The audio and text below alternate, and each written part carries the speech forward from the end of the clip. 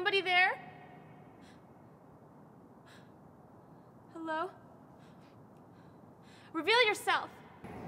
Just cleaning up, carry on. Are you a bad guy?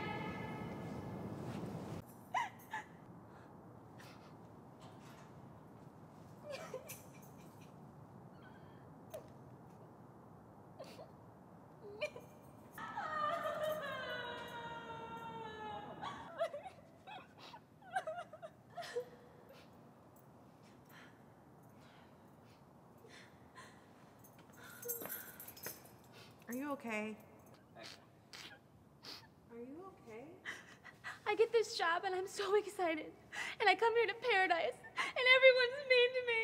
And I get hit in the face with trash. And then this guy starts hitting on me, which was flattering because because I'm single now. But then I get the feeling he just wants to rub himself up on me. And then I heard two, maybe three people having sex in the bathroom. Ah! no, probably like four. Oh, yes, the breakup. So there I am standing in my pretty gown, waiting for him to say something knight in shining armorish. I got it! I got the job! Are you proud of me? And he goes, Madeline, being a princess is not a real job. And I'm like, duh, Prince William and Kate. And he tells me I should do something important with my life. And I go, making people smile is important business. And he goes, you have a choice to make. It's me or the F-U-C-K-I-N-G fairies. I chose the vanilla aroma of happiness. I just know he'll return.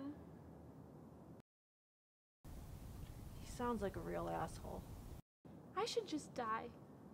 No prince, no job. Listen, you got hit in the face. It may be time to just walk away. It's my dream.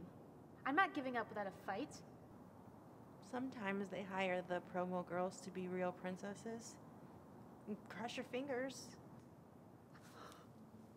I can do better. I know I can. I'm gonna wish upon a star